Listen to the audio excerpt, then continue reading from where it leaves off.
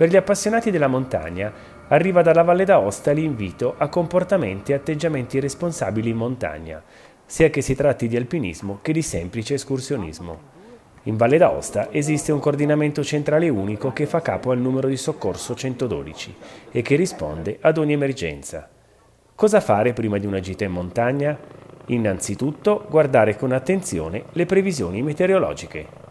E consultare un bollettino meteo è sempre importante prima di andare in montagna, non solo per sapere se andare o non andare, ma proprio per pianificare l'escursione che andremo a fare sotto diversi punti di vista.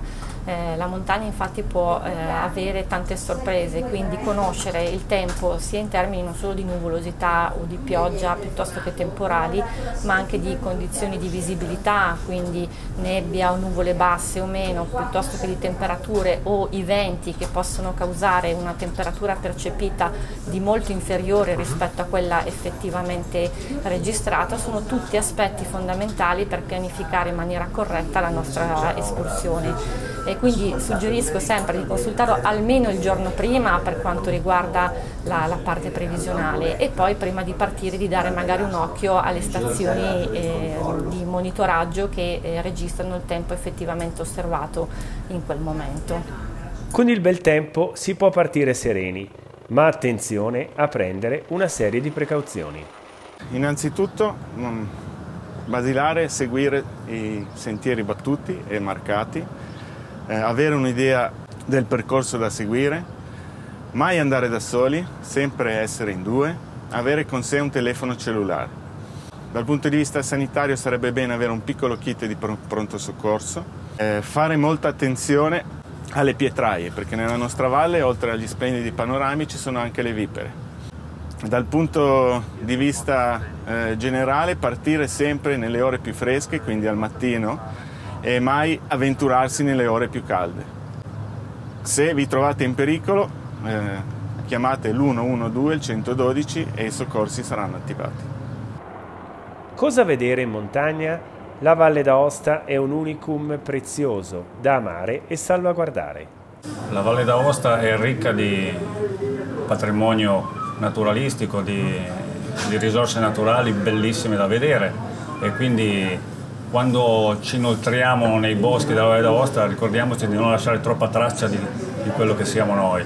Non lasciamo rifiuti, non accendiamo fuochi, sia all'interno che nelle vicinanze dei boschi la flora in valle è veramente ricca, abbiamo delle specificità uniche sull'arco alpino, così come la fauna, fauna che può essere abbinata a un contesto anche culturale della, della Valle d'Aosta dove è fantastico poter vedere volare un piccolo digipeto libero nel cielo della, della valle con le montagne più alte d'Europa a fargli da sfondo però mi raccomando anche sulla fauna cerchiamo di non eh, disturbarla troppo, quindi se abbiamo dei cani teniamoceli vicini, teniamoceli al guinzaglio, di modo che possano passare un'estate molto tranquilla. E se qualcosa dovesse andare storto, i professionisti valdostani della montagna sono pronti ad intervenire in vostro soccorso.